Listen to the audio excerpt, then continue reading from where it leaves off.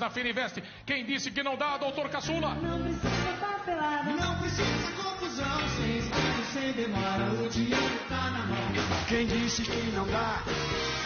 Investe e dá. Quem disse que não dá? Dá. E agora, especialmente para Sônia Raci, o Jean Milan, a Viviane Sena.